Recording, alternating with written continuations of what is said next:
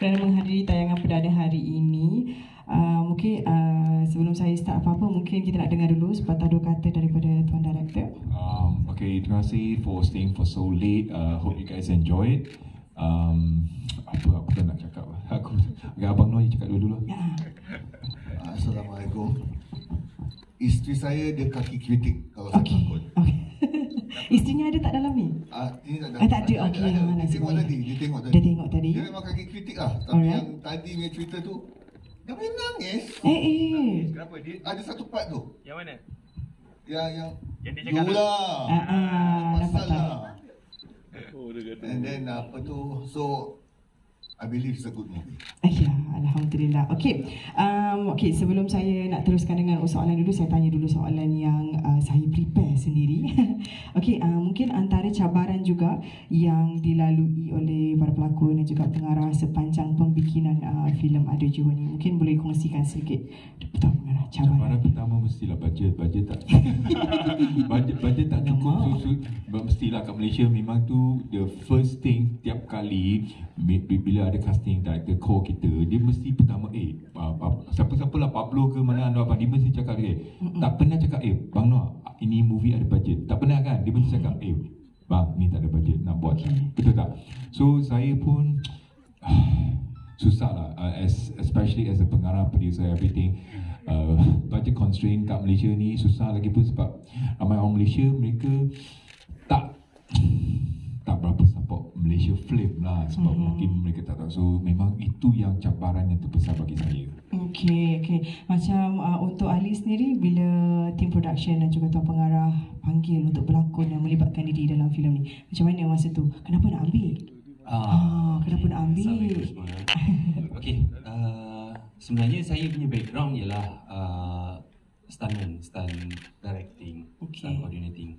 So masa tu uh, Steve call, Steve call, eh Lee, uh, you know how to speak Mandarin kan?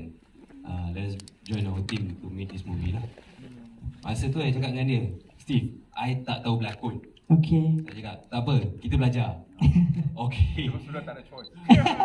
sebab tak ada choice satu sebab saya murah kan. Alright. tak baik, tak baik. Okey. Okay. Teruskan. Lepas tu uh, so uh, take up uh, took up the challenge then I go and meet them uh, production. So kita ada few times of uh, apa nama uh, act, uh, script reading and acting training. Okey. So agak berat sebab ada dua watak dekat dalam ni which is Ais dengan Sia same goes to Steve. So for me it's quite challenging on the uh, watak differentiation. Okey. Alright, okay. Uh, seterusnya saya nak tanya kepada Mohan. Okay. Uh, so sebenarnya antara, boleh tak ceritakan antara momen paling best sepanjang penggambaran?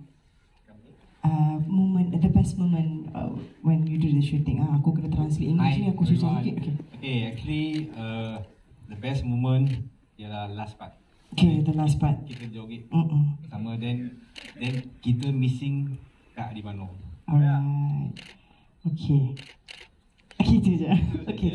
Okay, And then actually uh, saya lebih dari 20 tahun dalam acting field in Mm. Chinese industry. Mhm. So uh, saya kenal uh, Steve uh, since uh, 2007. Okay. So then uh, kita ada uh, work together Mhm. dua kali and then then uh, a few years ago Mhm. dia ada beritahu pasal movie ni. Mhm. So dia ada beritahu okay kita nak buat satu movie. Tapi tak ada bajet lagi. Ah, tak ada budget lagi. So still budget. searching for the producer. Alright. Then uh, last year dah capai. Alhamdulillah. Okey. Okey, uh, seterusnya okey, ini antara soalan yang saya rasa memang semua orang nak tanya juga so saya tolong tanyakan eh. Okey, sebenarnya uh, untuk uh, tuan director sekali, bukannya mudah, it's not easy to make a films yang berunsurkan sebuah bangsa. Lagi-lagi kita berada di Malaysia kan pelbagai bangsa. Jadi ada perkara-perkara ataupun dialog, ayat yang sangat sensitif bila kita dikaitkan. So antara sebab dan juga uh, punca yang pertama sekali uh, Steve nak make this film happen oh. Tanpa pedulikan apa orang kata feedback di sebaliknya tu. Oh sebab uh, saya sebagai I mean aku orang Malaysia ni aku memang melalui banyak lah uh, pilihan raya semua aku pergi aku dah nampak banyak cabaran.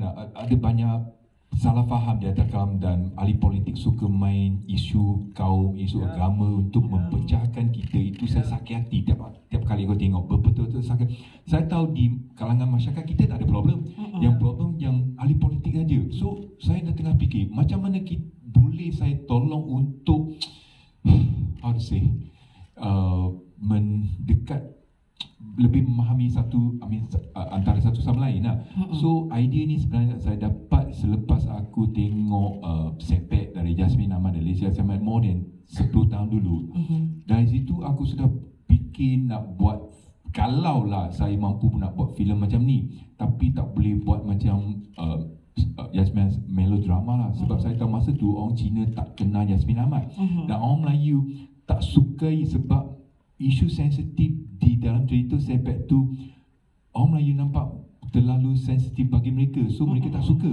So saya kena terfikir macam mana? So saya guna guna cari komedi to make people laugh laugh at themselves. Maybe they can accept.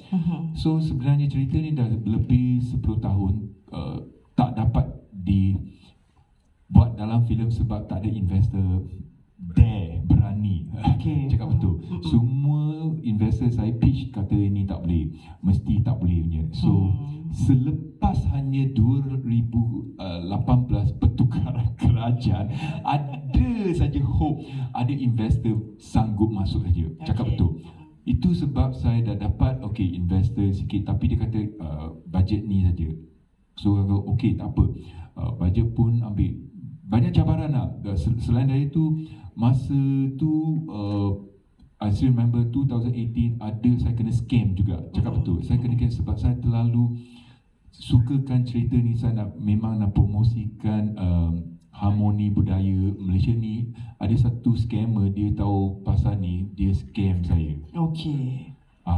tapi itu dah lalu lah.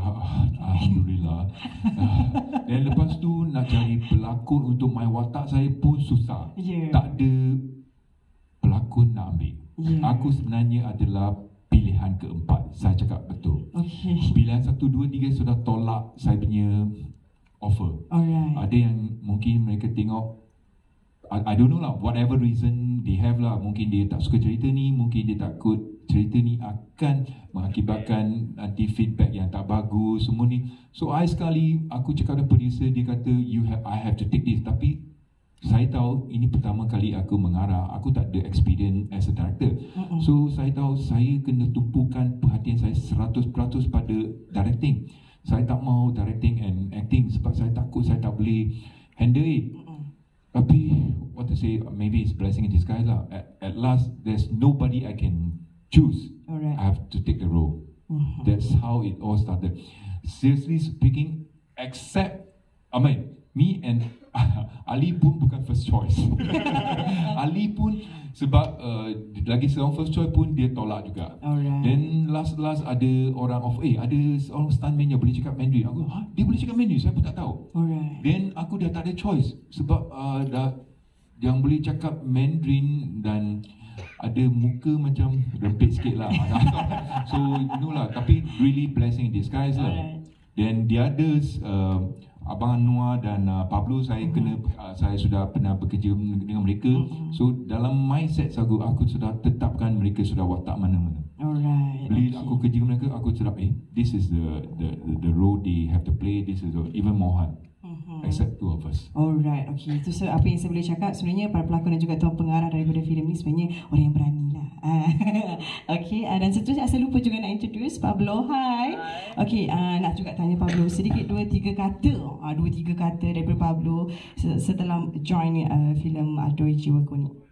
Mm-mm. tiga patah perkataan saja. dua tiga kata. Boleh, boleh. Jangan lupa menonton Oh Jiwaku. Eh, janganlah Jiwaku perasaan juga Utara. perasaan bila terlibat. Okay. Ah, Um, actually, okay, of course, uh, tadi uh, apa khabar semua Pablo Miro tadi Pablo terlepas. Thank you semua uh, wartawan-wartawan yang datang membuat liputan dan kepada influencer semua. Terima kasih mewakili uh, tenaga kerja daripada Adu Jiwaku. Okay. First thing, uh, of course, uh, seperti mana yang dikatakan oleh Steve, perpaduan kau sebenarnya kita ni harmoni kita cuma dipisahkan oleh penulisan media yang ada unsur-unsur politik Ha, media-media apa ni? ah, no, no, no. Let, let's clear the point right if without politik, writing, kita semua aman damai. Hakikatnya seperti mana anda menonton di Pawaga tadi cerita ni kan, betul?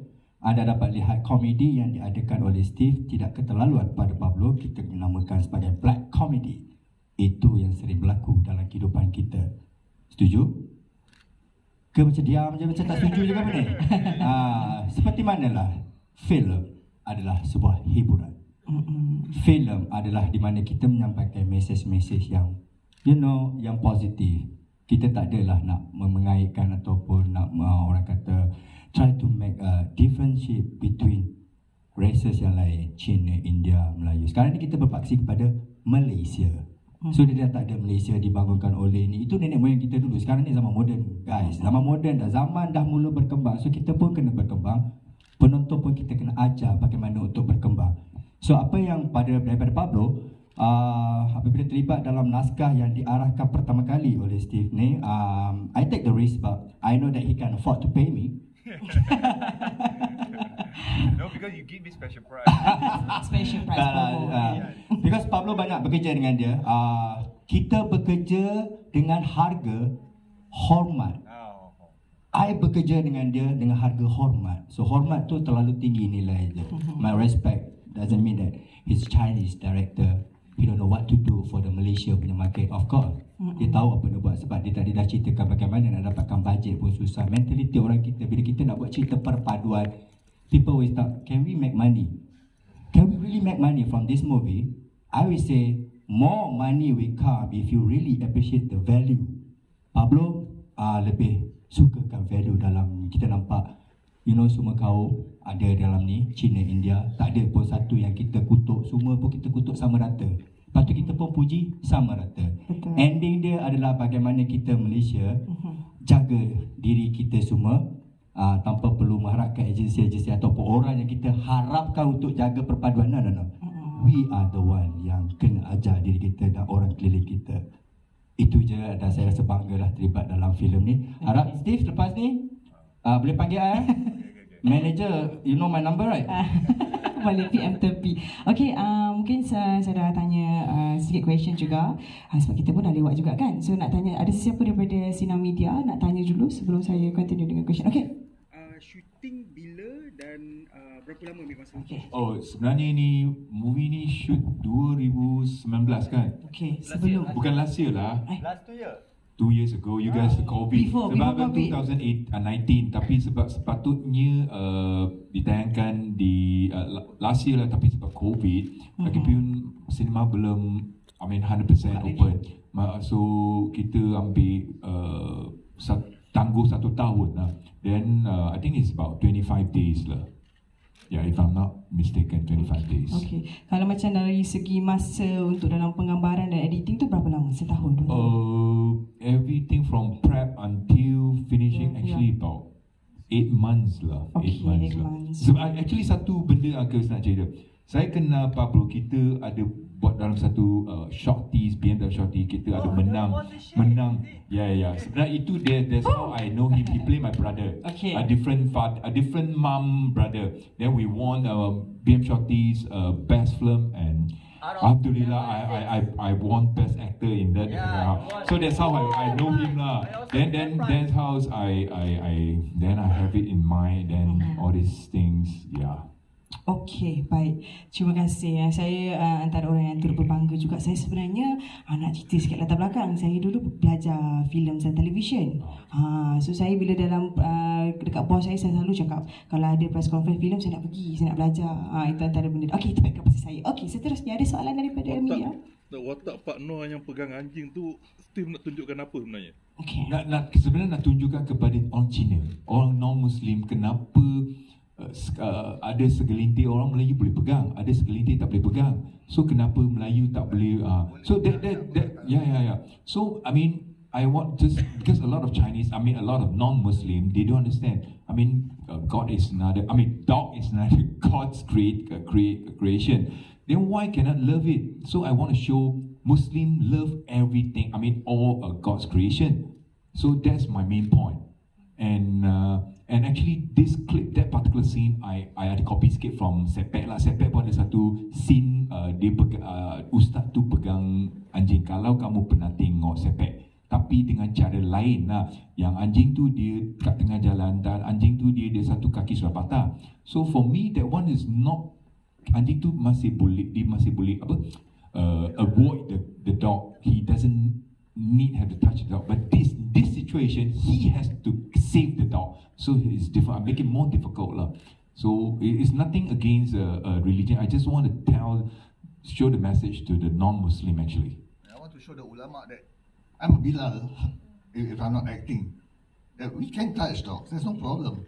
You know, jangan just uh, accept dia macam uh, binatang peliharaan lah. Just another God's creation. so that's my purpose Okay. Okay. Soalan saya pada Wah, okay. Dah simpan skrip 10 tahun kan. Ah. Mungkin ada perubahan uh, berapa persen dan ada tak MPF potong? ada sebenarnya ada tujuh scene yang sudah kena potong Okay. Uh, tapi yang scene yang kena potong tu tidak uh, affect the whole story lah. Uh, ada dialog yang tak boleh cakap, kena potong lah. Um, memang ada, memang ada. Ada sebenarnya ada lagi banyak yang scene saya saya nak masukkan tapi producer kata jangan ini jangan. Seperti sebenarnya saya nak buat satu scene Ali dengan I mean me lah uh, with uh, my my ada abang Noah sembahyang dalam masjid uh, ada dalam skrip tapi uh, antara sebab-sebab tertentu tak boleh buat lah. yes, nobody knows it, only I know it. okay, itu Kak Ang. Okey, uh, soalan kepada Steve. Kalau kita tengok dalam uh, dialog dalam filem ni ada sebut uh, keling, uh, Melayu babi, Cina babi, dan ada sebut uh, sentuh perkataan negara rasuah. So uh, semasa Steve uh, direct tu ada tak Steve terfikir terfikir penerimaan penonton bagaimana dengan perkataan yang sensitif tu? Um, sebenarnya bila saya tulis tu, saya memang tulis based on fact. This is a fact. I'm not twisting the fact. Ini memang persepsi masyarakat Malaysia. Memang memang yang this is what uh, as especially uh, orang politik dia akan gunakan whatever uh, uh, portrait in the in the movie. Um, that's why I use uh, I try to use it a subtle way and a funny way. Uh, uh, when audience see it, they don't feel offended and they feel "Oh, yeah that's true. Uh, that is what we um, who we are. So uh, um, I think I'm glad I, I'm not offended anyone because even I I I, I asked uh, Mohan, hey, the Keling word is it hated by Indian? And he said, yeah. And I remember the the the the the, the emotional scenes. I we took many takes and the, yeah until uh, sebab dia dia tak saya masa tu saya kata ini ni scene very penting untuk comedy India. You must really show you heard when people say Keling. If you don't show it, I don't feel it. Uh, audience can feel. it. So I say I give you time. That's why I didn't cut it. I need because what's because he's not really very experienced actor. I tahu bila saya cut bagi close up nanti dia buat susah. So aku kata one take saja. You have to one take, you have to do it so your emotion tak lari. Itu sebab saya tak cut. Lagi satu saya tak cut sebab kepala dia ada dua biji tu. Kalau close up, audience nampak dia takkan feel the emotion dia akan gelak. So I don't want uh, the audience to see the funny part. I want people to hear what he say. So that's that's my reason. So actually a lot of uh, things I want to do but because of budget constraint I cannot do lah. Uh, so lagi satu ramai orang tak tahu sebenarnya nama kami tiga orang ada makna. Okay, apa makna dia? Tahu tak? Ha. Surprise. Malesh, Aish, Sia, acronym of Oh, Malaysia. Malaysia. Berikan tepukan. Ramai orang tak tahu. Ah, Malesh, Ais Siap. Malesh, so M A L. Ais, uh, A Y I. So Siap S I A, um, uh, uh, A Y A. So it's Malaysia. Saya pun baru tahu. You baru tahu. Ah. So, so mereka pun tak tahu, semua orang tak tahu. Hanya saya tahu saja.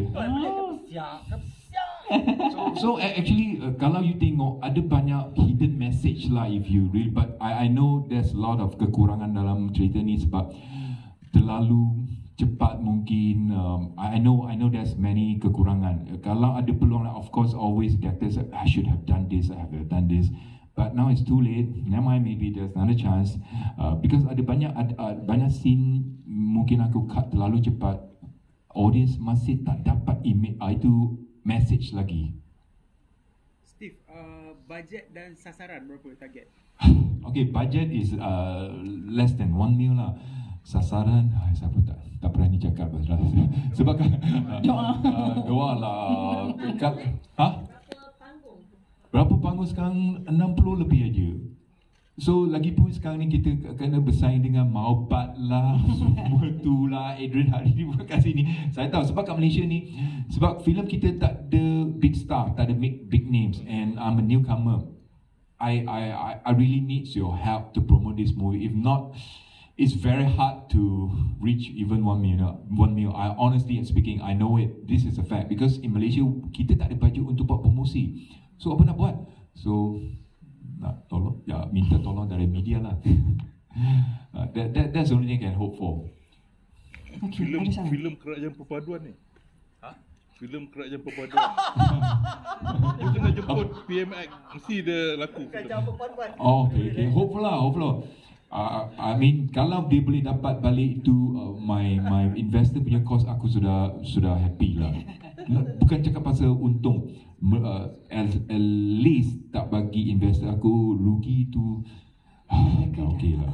Okay, ada, ada soalan kat tadi kak? Uh, sorry Steve, tadi you ada cakap yang you uh, mm, pasal apa kekacauan kaum about the politik kan?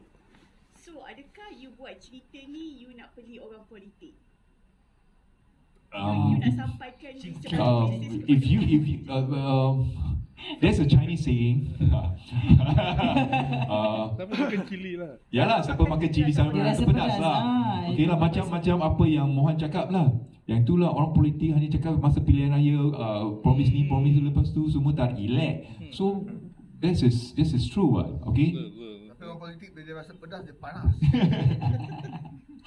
Okay, ada lagi soalan daripada tim media? um, boleh kongsikan tak mungkin ada kata-kata atau harapan arwah Adibah untuk Hmm. Ah, betul. Uh, actually, while we are shooting the first scene, especially the first scene, uh, Kak Diba yang dia, dia actually itu one take tau, dia kena jalan dah jauh masuk bilik Ali, uh, lepas tu uh, uh, balik dia di kucing tu, actually it's a one long take. Tapi selepas tu 8 jam kita sudah cut shot shot shot. Masa tu saya kita I mean nobody knows she's sick. Nobody knows. She didn't tell anyone. She's really professional. And um, untuk jalan dia ada empat kali take sebab technical problem semua. Lepas tu aku dah tengok aku kesian dah sebab aku ingat dia badan besar sebab dia dia tak bersenam susah so okay okay lah I'm happy then we just take it lah. Then only later on like I think last year we found out in the news I'm so shocked. I mean it's it's it's a great loss. I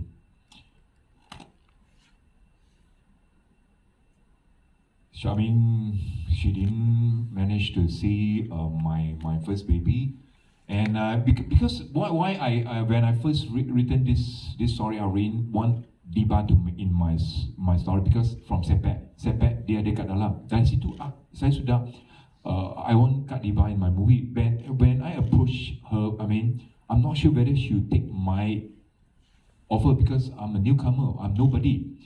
But Alhamdulillah dia diambil sebab se- sebelum tu dia pun ada suruh saya buat satu MB untuk dia punya dia punya lagu. Uh, that's how I know her lah. So yeah. Uh, Pablo percaya arwah aku akan doakan kejayaan movie ni. InsyaAllah. Yang lagu tu you directkan dia punya MV lah. Uh, bukan bukan. Uh, lagu itu lagu uh, Kak Diba masa tu yang direct Bron Palera Palera agak uh, Palari sorry aku dah Palari ah apa tahu dah. Jangan dia, tadi Pablo. Okay, Bron yang itu dah dah berapa tahun aku dah lupa lah.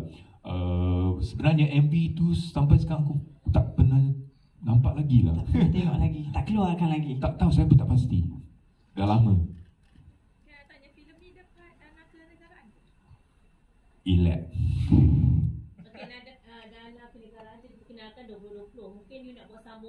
untuk Yeah.